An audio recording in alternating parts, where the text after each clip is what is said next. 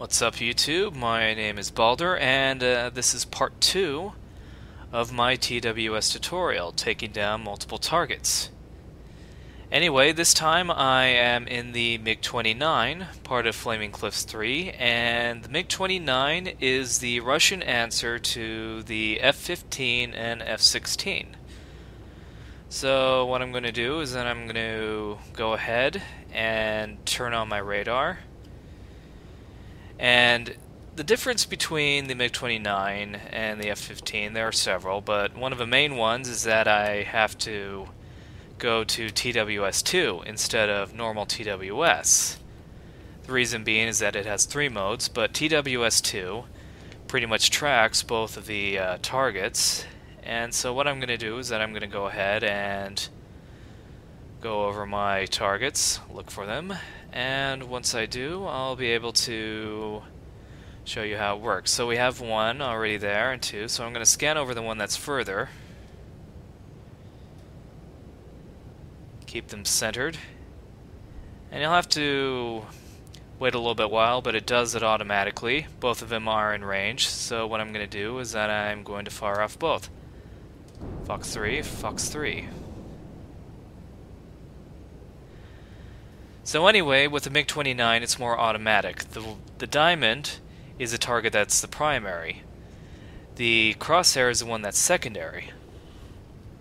So we'll go ahead and see if it works.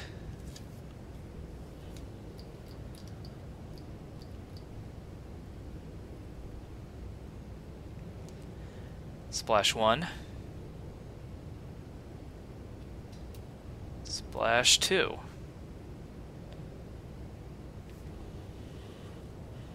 Didn't seem to finish the job, so I'm going to fire off two more. Fox 3. And this should be able to do the trick. Splash. And splash. So yeah, basically when it comes to large planes, you may need more than one missile. Usually that's not the case, but sometimes it does happen.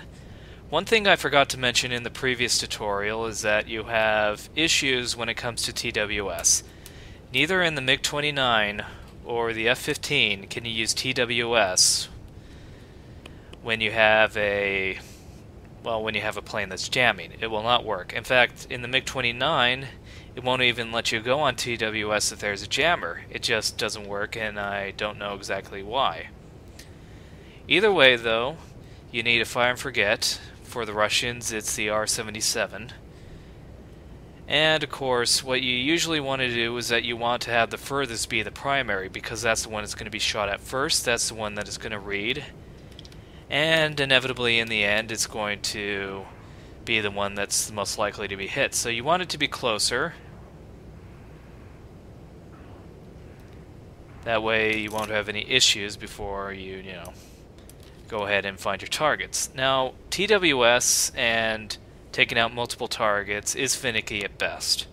What you're going to have is that you're going to have a lot of trial and error, and sometimes it's not going to work.